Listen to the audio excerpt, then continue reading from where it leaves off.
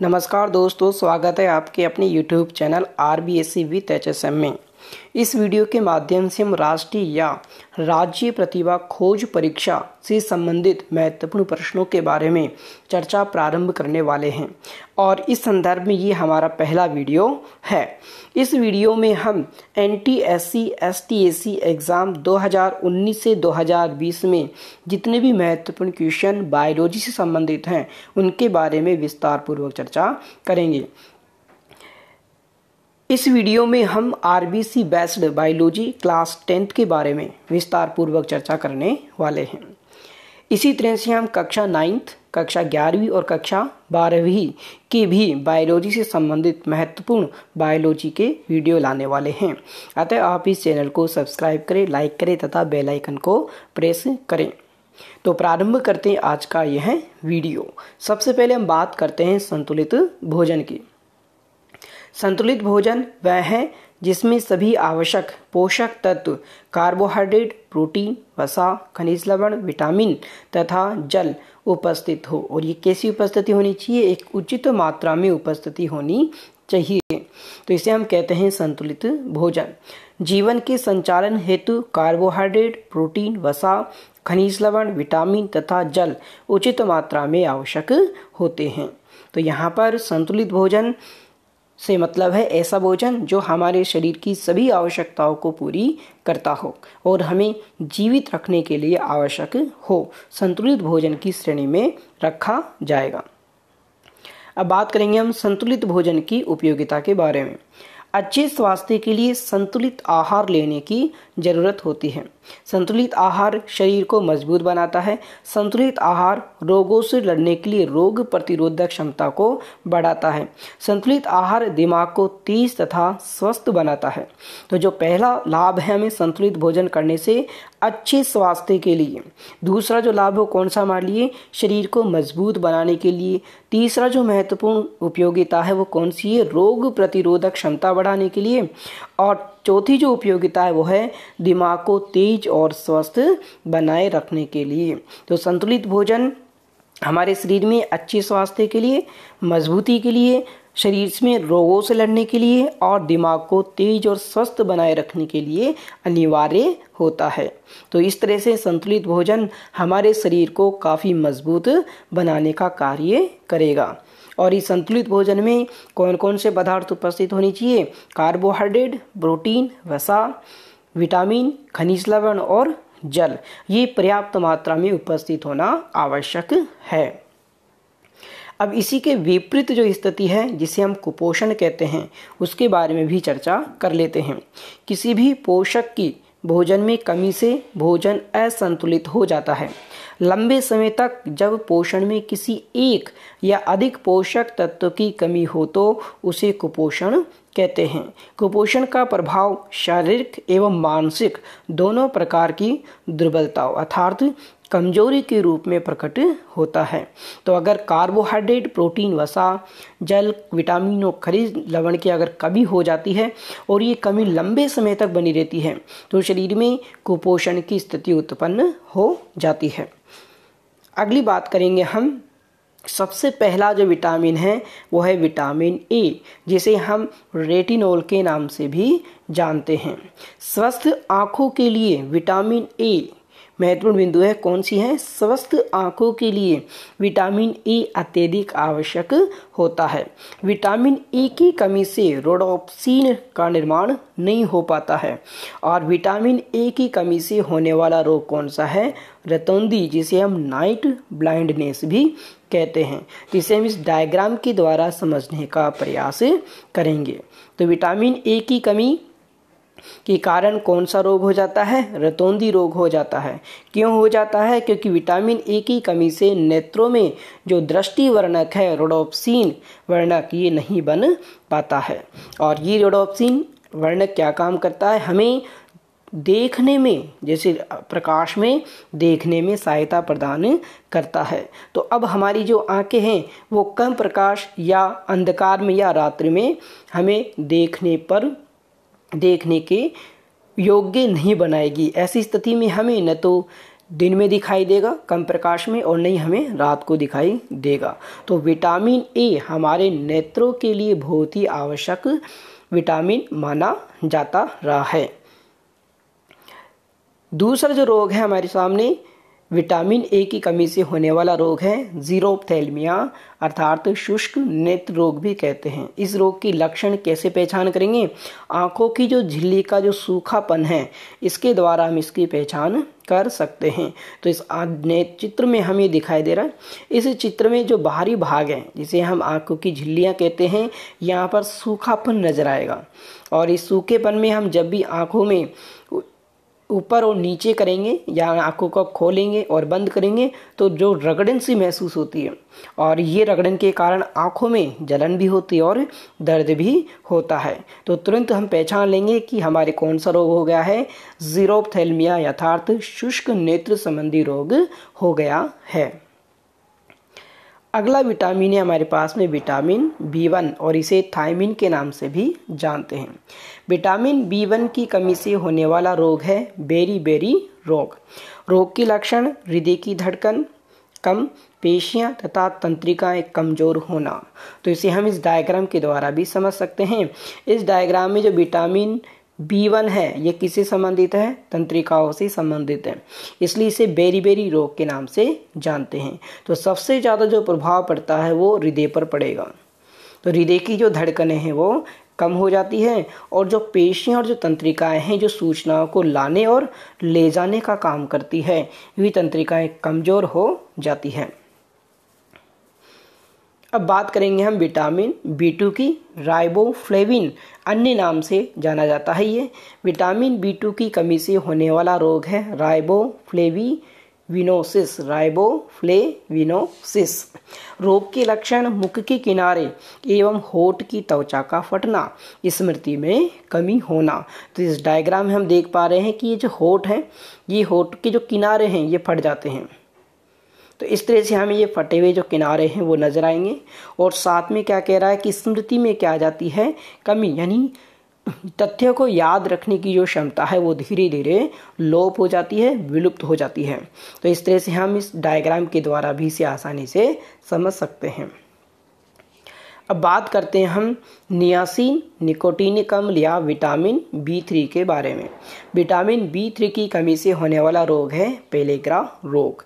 और रोग के लक्षणों में जीभ व त्वचा पर पपड़ियाँ पड़ जाती हैं। अधिकांशतः वाइट कलर की जो पपड़ियाँ हैं वो पड़ जाती हैं, लेकिन ये पपड़ियाँ जब हटती है तो यहाँ पर एक घाव सा जो लाल लाल रंग का जो घाव है, वो नज़र आता है। तो हम इन्हें आसानी से समझ सकते हैं। अगर ये ज़्यादा समस्या पैदा होती है तो ये कुष्ठ रोग में भी परिवर्तित हो जाता है। अतः डॉक्टर से सलाह लेकर इसका तुरंत इलाज किया जाना चाहिए।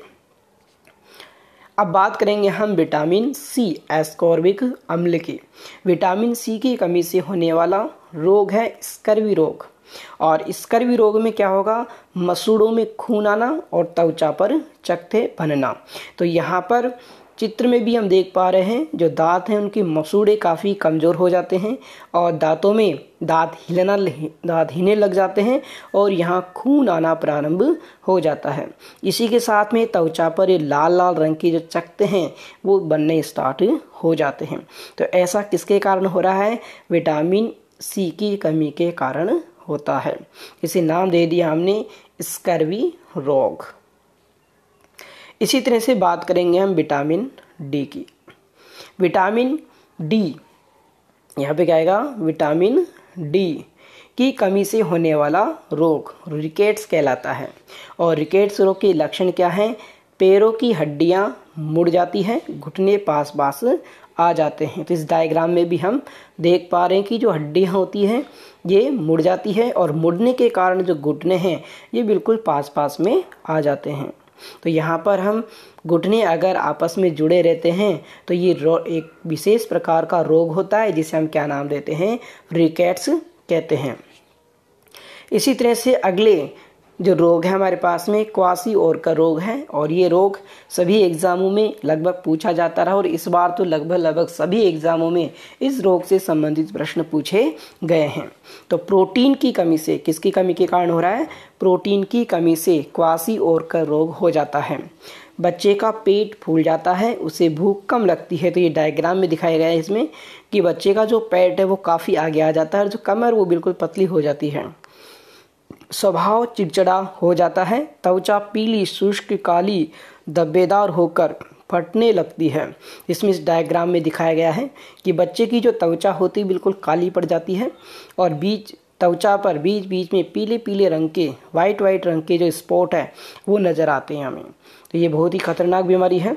अतः इस बीमारी से जितना ज़्यादा दूर रहा जाए, उतना ही अच्छा है। अब बात करेंगे हम अगले रोग के बारे में मेरसमस रोग। डायग्राम में दिखाया गया है आप समझ सकते हो कि डायग्राम में जो स्थिति है व्यक, बच्चे की वो किस प्रकार हो रही है।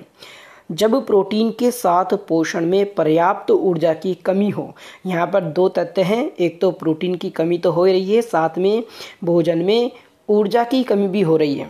तो यहाँ पर प्रोटीन प्लस ऊर्जा की कमी के कारण शरीर कैसा हो गया है? सूख कर दुर्बल हो जाता है। तो डायग्राम में देख सकते हैं हम कि जो शरीर है, उसमें हड्डियाँ नज़र आ जाती है सूख कर बिल्कुल कमज़ोर हो जाता है। आँखें कांतिहीन एवं अंदर धस जाती है। तो आँखों को देखिए आप, आँखें भी कैसी हो रही है? अंदर की ओर धस रही है। और इसी स्थिति को हमने क्या नाम दे दिया? मेरेसमस रोग कह दिया। अब बात करेंगे हम महत्वपूर्ण तत्वों के बारे में। तो पहला जो तत्व है वह है लोह तत्व। बहुत ही इंपॉर्टेंट तत्व है। लोह तत्व रुधिर की हीमोग्लोबिन का भाग होता है। अब प्रश्न उठता है कि रुधिर क्या है? तो रुधिर हमारे शरीर में तरल पदार्थ, तरल संयोजी तक रखा जाता है। यह शरीर में ऑटो और सीटों के परिवहन का काम करता है। शरीर के विभिन्न अवशिष्ट पदार्थों को शरीर से बाहर निकालने का काम करता है। उत्तकों को और अंगों को जोड़ने का काम करता है। तो इस तरह से रुधिर हमारे शरीर में बहुत ही महत्वपूर्ण कार्य करता है। और ये कार्य किसकी सहायता से करता है? हीमोग्लोबिन की सहायता से करता है। तो हीमोग्लोबिन को हम शोषण वर्णक अर्थात शोषण रंजक भी कह देते हैं। क्यों कह देते हैं? क्योंकि ये ओटूर सी के परिवहन का कार्य करता है। इसकी कमी से रक्तहीनता के कारण चेहरा पीला पड़ जाता है। अब शरीर कैसा हो गया है? रक्तहीनता नहीं, रक्त की कमी आ जाती है। किसकी कमी के कारण? लोह तत्व की कमी के कारण। तो चेहरा कैसा पड़ जाएगा? पीला पड़ जाएगा। लोह तत्व रुधिर में हीमोग्लोबिन के, हीमोग्लोबिन का निर्माण करता है। उत्तकों का जो ऑक्सीकरण है, यानी ओटू सीटों का जो परिवहन है, उसका भी कार्य करता है। तो इस तरह से हमें जो हरी सब्ज़ियाँ हैं, वो खानी चाहिए, ताकि लोहे तत्व की जो कमी हो, हमारे शरीर में ना रहे। अगला तत्व है आयोडीन, यह भी काफ़ी महत्वपूर्ण तत्व माना जाता है। गले में स्थित, अर्थात गर्दन में स्थित जो थायराइड ग्रंथि है, उसके द्वारा थायरोक्सिन हार्मोन का संश्लेषण होता है, यानी निर्माण होता है। आयोडीन की कमी से थायराइड ग्रंथि की क्रिया मंद पड़ जाती है और गलगंड, घेंगा या थायराइड रोग हो जाता है। इस रोग का प्रमुख लक्षण है जो गर्दन है ये गर्दन फूलकर काफ़ी मोटी हो जाती है। तो ये हम इस प्रकार इस चित्र में भी इसको देख सकते हैं। तो आयोडीन तत्व साधारणतः जो नमक में है, पाया जाता है और आयोडीन के कारण ही थायरोक्सिन हार्मोन का निर्माण होता है। और थायरोक्सिन हार्मोन किसके द्वारा स्रावित हो रहा है? थायराइड ग्रंथि के द्वारा। और थायराइड ग्रंथि की क्रिया मंद पड़ जाती है, जिससे थायरोक्सिन हार्मोन स्रावित नहीं हो पाता।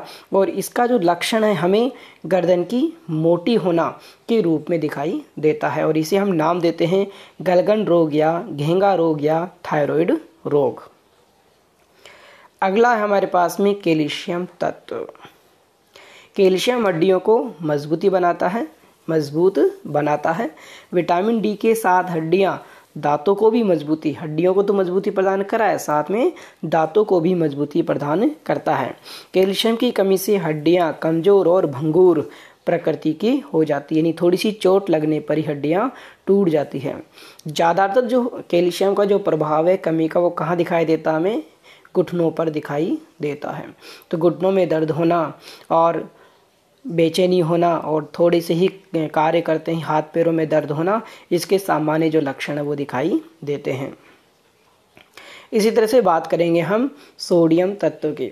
सोडियम तत्व, सामान्य नमक, मछली, बाँस, अंडे, दूध आदि में पाया जाता है। सोडियम तत्व तत्व, मांसपेशी संकुचन तंत्री की आवेशन संचरण शरीर का विद्युत अपघटन संतुलन बनाने का कार्य करता है। तो सोडियम तत्व हमें सामान्यतः नमक में पाया जाता है। मछली के जो मांस होता है, उसमें मिलेगा अंडे, दूध, जो भी है, उन सब में सोडियम तत्व पाया जाता है। ये मांसपेशियों के संकुचन में सहायता करेगा। इसी के साथ में तंत्र के आवेशों के जो सूचनाओं का आदान प्रदान है, उसमें सहायता करेगा। साथ में ही शरीर की जो संतुलन है, उसको बनाए रखना, रखने का भी ये कार्य करेगा। और साथ में ही जो विद्युत तरंगे होती है शरीर में विद्युत आवेग होते हैं, उनमें भी ये लाने और ले जाने में सहायता प्रदान करेगा।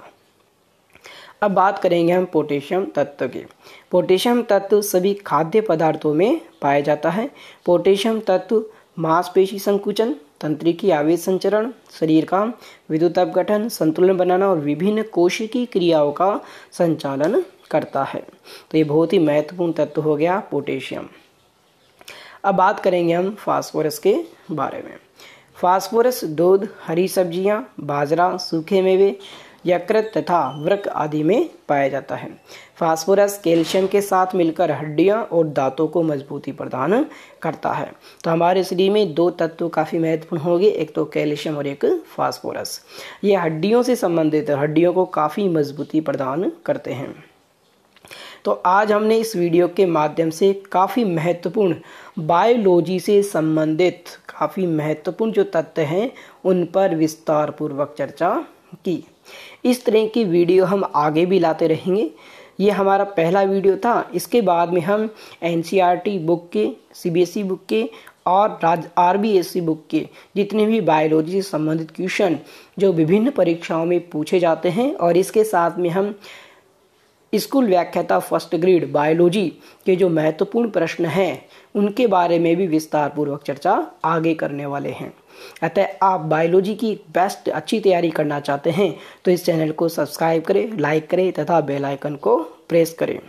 मैं हनुमान साई मीणा, फिर मिलता हूँ एक नए अपडेट के साथ। तब तक बने रहे आर बी सी वी के साथ। जय हिंद, जय भारत।